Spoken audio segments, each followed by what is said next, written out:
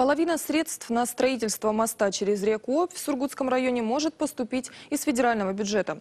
Об этом рассказали на заседании проектного комитета Югры, который провела губернатор Югры Наталья Комарова. По ее словам, все предпосылки для этого есть. В 2016 году была утверждена транспортная и финансово-экономическая модели проекта, а также проведена предварительная оценка стоимости создания и обслуживания мостового перехода. Новый Сургутский мост самый крупный строительный проект десятилетия в автономном округе.